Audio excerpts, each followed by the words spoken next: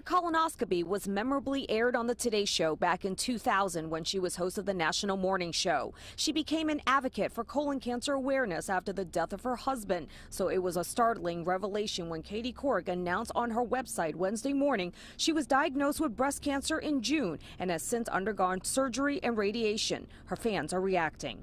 She says she's been involved in so many, you know, health awareness things and community kinds of things that, um, yeah, it's really sad to hear. Dr. David Anderson did not treat Couric, but is an expert in the field. He is a breast surgical oncologist at the Dubin Breast Center of Mount Sinai. Breast cancer does not run in Couric's family about 80 to 90% of women diagnosed with breast cancer have no family history. Routine self breast exams are important, but the mammogram is the gold standard. Couric needed an additional screening method, an ultrasound, because of dense breast tissue, and she wants women to know they may fall into this category. But she notes not all insurance companies will fully or even partially pay for potentially life saving breast ultrasounds. 40% of American women have dense tissue.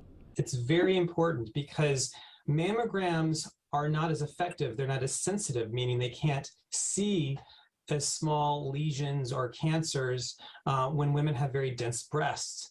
Signs to look out for in breast cancer a lump or lumps, which can be painless, changes in your skin, either skin thickening or changes in color of the skin, additionally, swelling or change in the size or contour of the breast, and finally, nipple discharge. Great strides have been made in the field, including new therapies and drugs. With more targeted treatments, we have just the same outcomes or better outcomes with less aggressive or radical treatment.